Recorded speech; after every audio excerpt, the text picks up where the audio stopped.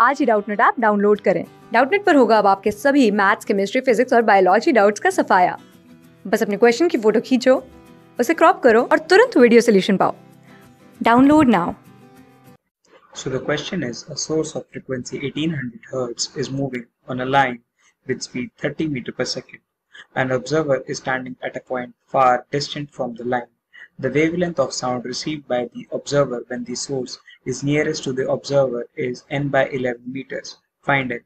So question में हमें बोला है कि एक इंसान यहाँ खड़ा है और इसके दूर से एक साउंड का सोर्स जा रहा है जिसकी फ्रिक्वेंसी है 1800 हर्ट्ज एंड जिसकी वेलोसिटी है 30 मीटर पर सेकंड हमें बताना है कि जब ये यहाँ से क्रॉस कर रहा होगा हमारा सोर्स तब जब यहाँ से क्रॉस कर रहा होगा, तब इस इंसान को जो वेवलेंथ रिसीव होएगी, वो wavelength lambda is equal to n by eleven form में आएगी।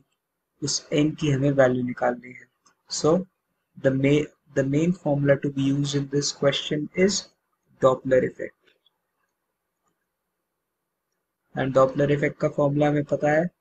F apparent is equal to F source into V of sound in the medium minus V observer divided by V of sound in the medium minus V of source. ये हमारा main formula है अब हम इस question को दो part में break करेंगे जब ऑब्जर्वर खड़ा है और साउंड सोर्स उसके लेफ़्ट साइड से उसको अप्रोच कर रहा है एंड सेकेंड पार्ट इज़ जब ऑब्जर्वर खड़ा है एंड सोर्स उसके राइट right साइड उसको लीव कर रहा है।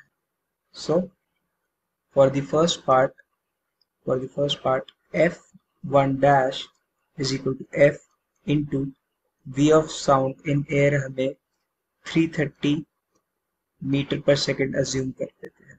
V of sound in air so 330 observer rest पे तो minus zero divide by 330 minus 30 is equal to 1800 into 330 divided by 300 zero से ज़ीरो कैंसिल 3 से 18 सिक्स पे जाएगा.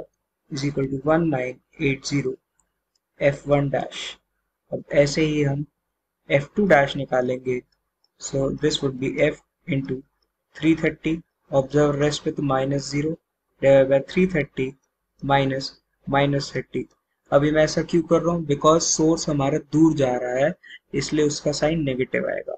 Is equal to eighteen hundred into three thirty divided by three sixty zero से zero cancel ये जाएगा six पे six ये हुआ थर्टी वापस सिक्स पे वन ये हुआ five is equal to one six five zero f two dash अब हम निकालेंगे beats delta f is equal to f one dash minus f two dash is equal to one nine eight zero minus one six five zero is equal to three thirty hertz ये हमारा delta f है।